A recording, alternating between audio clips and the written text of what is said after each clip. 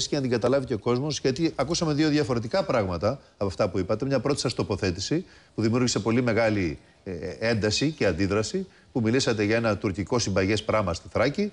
Και η δεύτερη τοποθέτηση που είπατε ότι αυτό δημιουργήθηκε από τις πολιτικές των κυβερνήσεων όλα αυτά τα χρόνια. Έτσι είναι; Ε, Και τα δύο ισχύουν. Ποια είναι η πραγματικότητα, πείτε μας, ποια είναι η θέση σας καθαρή λοιπόν. Bon, ευχαριστώ που μου δίνετε αυτή τη δυνατότητα καταρχήν. Παρακαλώ. Να πω ότι οι, αυτά τα οποία είπα είναι συμπληρωματικά, δεν έχουν καμία εσωτερική αντίφαση και τα ξαναλέω προκειμένου να κλείσουμε.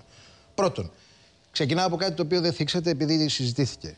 Εγώ ουδέποτε μίλησα για αναθεώρηση Λοζάνης και τα τι αυτά, διότι αυτά ακούστηκαν και αυτά είναι ιστορίες για γρήγορου και θέλω να είμαστε σαφείς σε αυτό. Εγώ έχω μια ακαδημαϊκή διαδρομή 20 χρόνια που ασχολούμαι με τα μειονοτικά. Δεν έχω ουδέποτε θέση ζήτημα γράψει και αναθεώρησης βιβλία, είναι Λοζάνης. γνωστή διαδρομή, Λοιπόν, σας ένα το αυτό. ξέρουμε. Δεύτερον, σε ό,τι αφορά το επίδικο τώρα, είπα ότι οι ελληνικές πολιτικές, οι πολιτικές αδια, αδιακρίτως σε βάρος όλης της μειονότητας μέχρι το 1990 δημιούργησαν αυτό το ενιαίο συμπαγές τουρκικό πράγμα, ένα κομμάτι μέσα στη μειονότητα που στη, στη μείζον πληθυσμιακή του αναφορά στρέφεται προς την τουρκική εθνική ιδεολογία και αυτό είναι ένα δεδομένο το οποίο έφνης από το 1991 και ύστερα που αλλάξαν οι ελληνικές πολιτικές δεν μπορεί να αλλάξει. Έτσι. Λοιπόν, το 1991 οι ελληνικές πολιτικές ανακαλύψανε την, ας πούμε, την, την θεωρία ότι υπάρχουν οι τρεις εθνοτικές ομάδες. Μέσα στην μειονότητα φυσικά και υπάρχουν και υπήρχαν πάντα τρεις εθνοτικές ομάδες. Αυτό είναι αυτονόητο. Αλλά αντιλαμβάνεστε ότι από τη μία μέρα στην άλλη, έτσι, μια πληθυσμιακή ομάδα δεν είναι να πιώνει στα μυαλά κάποιων κυβερνήσεων που μία της λένε ότι συλλήβδιν είστε Τούρκοι και καλά να πάθετε γι' αυτό που πληρώνετε που είστε στην Ελλάδα, διότι οι δικοί μας στην Κωνσταντινούπολη την πατήσανε και σε- με βάση την αρχή της αμοιβαιότητας την, την, θα την πληρώσετε κι εσείς. Και από την άλλη, μέσα σε μία μέρα αυτό δεν είναι δυνατόν να αλλάξει. Αυτό είπα για το λόγο αυτό επέμεινα, αυτό είναι το, η θέση μου. Άρα τίποτα δεν άλλαξε. Από την αρχή ήμουν καθαρός. Πιστεύω ότι υπάρχει αυτό, ένα δημιούργημα των ελληνικών πολιτικών και να μην αναγνωρίζεις το δημιούργημά σου, κατά την άποψή μου, είναι πολιτικός στουρθοκαμιλισμό, ο οποίος πρέπει, κατά την άποψή μου, να τελειώσουμε. Κλείνουμε τη θράκη.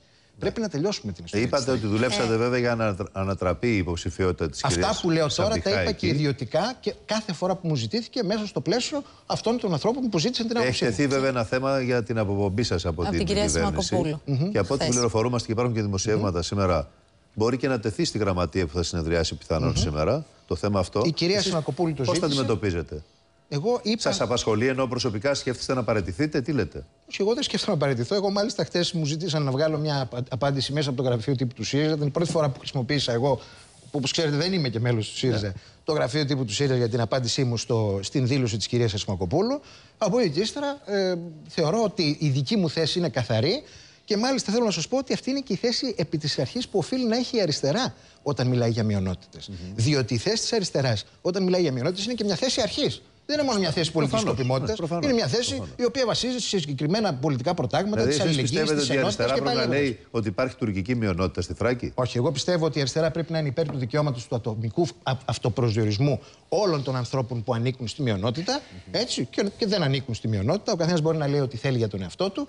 Η διαπίστωση ότι το μείζον τμήμα της μειονότητας στρέφεται προς τα εκεί που στρέφεται δεν συνιστά επουδενή παραβίαση αυτού που εγώ λέω επί της αρχής. Αν είναι έτσι, τι σας πείραξε η υποψηφιότητα Σαμπιχά τότε; Η υποψηφιότητα σαν Μπιχά δεν πήραξε μόνο εμένα καταρχήν για να είμαστε σαφεί. Όχι, λέτε ότι δουλέψατε και πολεμήσατε πολύ για να ανατραπεί αυτή η υποψηφιότητα. Είπα Γιατί; με κάθε τρόπο ότι αυτή η υποψηφιότητα επί της αρχής είχε σοβαρά προβλήματα, διότι δεν μπορεί να αντιπροσωπεύσει αυτό που μια αριστερή πολιτική σε σχέση με τις μειονότητες οφείλει να εκπροσωπεί. Δηλαδή την αλληλεγγύη τουρκικό και την στοιχείο. ενότητα. Τι Όχι, να δεν είπα καθόλου εκπροσωπήσει. για το τουρκικό στοιχείο.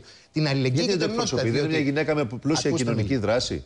Για ποιο λόγο δεν Εχθές, εκπροσωπεί το κύριε μειονοτικό Χριστόπουλου, να στοιχείο; προσθέσω και αυτό. Πείτε μου. Είχαμε και μια πολύ εχμηρή ανακοίνωση από την τοπική οργάνωση του ΣΥΡΙΖΑ στην, ε, στην Ξάνθη. Και ήθελα να ρωτήσω αν συμφωνείτε με όλα αυτά, γιατί ήταν πολύ σοβαρές οι καταγγελίες που έγιναν για την κυρία Σαμπιχά. Εγώ δεν έχω τόσο προσωπική εικόνα και άμεση αδημεσολάβητη εικόνα για τη δράση της κυρίας αυτής. Πάντως, να ξέρετε ότι όταν όλος ο ΣΥΡΙΖΑ στην Ξάνθη και μειονοτικός και πλειονοτικός στρέφεται με την ένταση για την οποία κάνατε λόγο εναντίον της υποψηφιότητας αυτής και οι υποστηρικτές της υποψηφιότητας αυτής είναι οι έσχατοι υποστηρικτές και ακτιβιστές, ακτιβιστές των δικαιωμάτων των Ρωμά, κύριος Καλεντερίδης, ε, Άδωνης Γεωργιάδης, ε, και, ε, Φαΐλος Κρανιδιώτης και πάει λέγοντας, κάτι δεν πάει καλά. Δεν είναι δυνατόν όλοι η αριστερά στην Ξάνθη να μας λέει ότι αυτή δεν μας κάνει και να έρχονται αυτοί να, να λένε ότι τι καλή υποψηφιότητα είναι. Ας την πέραν αυτή σε τελευταία Τότε ανάλυση. θεωρείτε πως έγιναν λάθος χειρισμοί από την πλευρά του ΣΥΡΙΖΑ και από το εσωτερικό του κόμματος. Ο κ. Παπαδημούλης έκανε λόγο για αυτόν τον γκολ. Είναι αυτονόητο ότι υ- υπάρχουν λάθος χειρισμοί στην πρώτη φάση όπου αναδείχθηκε αυτή η υποψηφιότητα.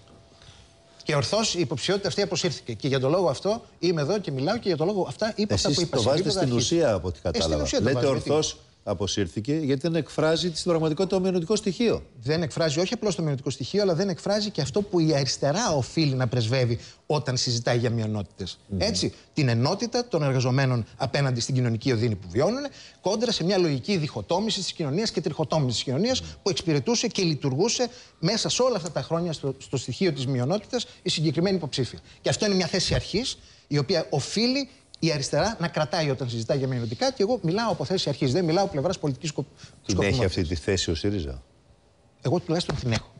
Και ο ΣΥΡΙΖΑ νομίζω ότι με την απόσταση της υποψηφιότητας καλώς έπραξε και νομίζω ότι είναι μια ένδειξη συνέπειας σε μερικές βασικές αριστερές Αν αξίες. αποσύρει τη δική σας υποψηφιότητα, τι θα είναι; Δεν νομίζω ότι έχει τεθεί τέτοιο ζήτημα. Σας ξαναλέω ότι εγώ χτες. Λέω επειδή υπάρχουν δημοσιεύματα και Υπάρχουν υποχρεωμένο να το δημοσιεύματα. ρωτήσω, γι' αυτό σας ρωτώ. Ωραία, ρωτήστε με, τι να σας Δεν πω. ξέρω τι θα κάνει. Προφανώς δεν ούτε. Και εγώ με δεν φορά, μπορώ να ούτε- απαντήσω με ούτε οικονομία, εμπλέκομαι. έτσι. Και εγώ σήμερα το Δημοσιογραφικά πρωί το το ρωτώ. έδωσα.